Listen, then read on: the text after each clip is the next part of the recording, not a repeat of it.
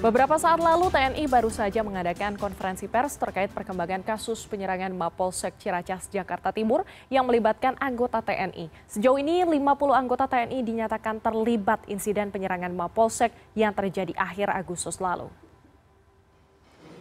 Hingga kini Puspom TNI AD sudah memeriksa 81 orang prajurit terkait penyerangan ke Mapolsek Ciracas. 50 di antaranya sudah ditetapkan sebagai tersangka dan menjalani penahanan. Selain oknum TNI AD, 25 orang prajurit TNI dari Matra, Laut, dan Udara juga sudah diperiksa. Dari 10 oknum prajurit TNI AL yang diperiksa, 6 di antaranya sudah ditetapkan sebagai tersangka. Sementara 15 orang oknum prajurit TNI AU hingga kini statusnya masih sebagai saksi. Sementara untuk Prada MI yang diduga sebagai penyebar berita bohong sudah ditetapkan sebagai tersangka. Dia dijerat dengan pasal menyebarkan berita bohong sehingga menimbulkan keonaran dengan ancaman hukuman maksimal 10 tahun penjara. Dari hasil penyelidikan, Prada MI mengalami kecelakaan tunggal karena mabuk minuman keras.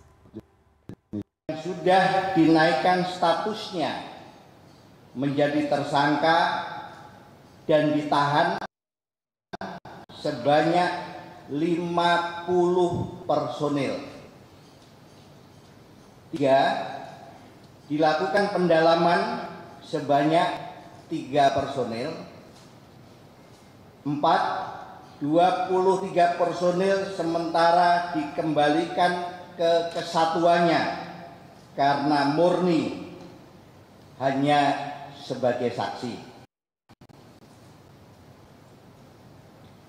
Proses penyelidikan dan penyidikan masih terus berjalan sesuai dengan ketentuan hukum.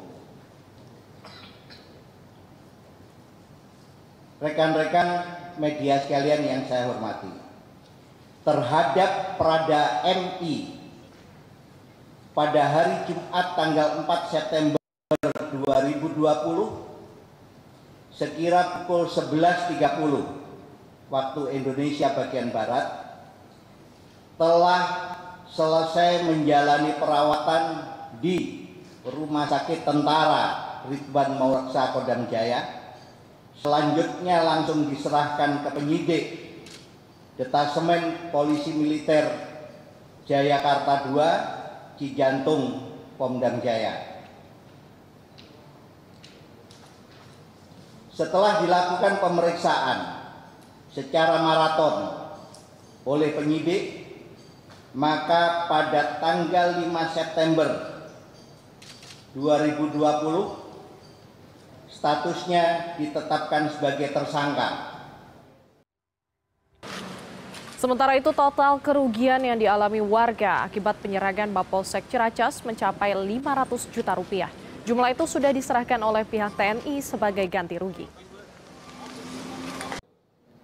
Polsek Ciracas itu banyak masyarakat-masyarakat juga yang terkena imbasnya ada pemukulan dan pengerusakan materialnya.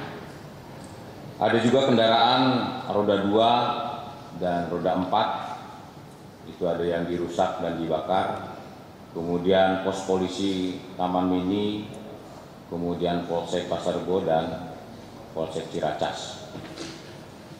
Jumlah ganti rugi yang sudah dibayarkan langsung Eh, ke masyarakat total secara keseluruhan 596 juta 744 ribu rupiah. Ini untuk sementara ditanggulangi oleh pimpinan TNI Angkatan Darat yang pada dasarnya nantinya akan dibebankan kepada para pelaku.